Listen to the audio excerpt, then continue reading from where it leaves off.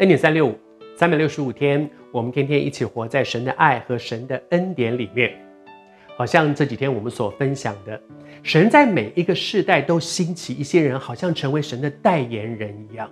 这些人可以把他们所领受的神的话传讲给我们周围的人。神的话真的有安慰、有造就、有劝勉、有鼓励，也有警惕、警告。神的话是带着能力的。当我们愿意降服在神的话面前的时候，他不只是告诉我们说你应该这样，你应该那样，你应该做对的决定，你千万不要做错误的决定。他不只是告诉我们什么是对的，什么是错的。神的话，当你一愿意降服，照着去做，你就会发现，神的话是带着能力的。他不只告诉我应该做这件事，他给我去做这个对的事情的力量。他不只是说不准做那个事，做那个事你会你会很惨哦，你会被修理哦，你会。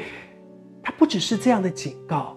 当我愿意顺服神的话的时候，我会得到力量去拒绝做那个不应该做的事。神的话真的太宝贝了。那很多的时候，神要透过你，透过我，成为我们周围人的祝福。当我们每一天读圣经，你领受了一些话，分享给你周围。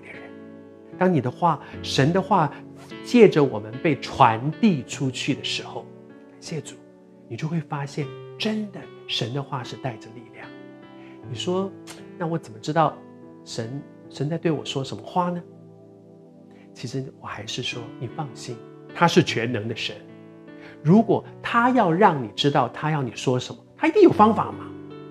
但是关键其实，关键其实常常是在，我不是怎么知道神对我说什么，而是当神说话了以后，我怎么回应？我愿不愿意降服在神的面前？我愿不愿意跟主说，我听到了，我愿意。当你一愿意，你就会经验神做很奇妙的事情。今天我在预备这一集的恩典三六五的时候，我里面也有一些感动。我们中间有一些人，你也正在面对生命当中一些又大又难的决定，你很害怕，你很担心，害怕担心什么？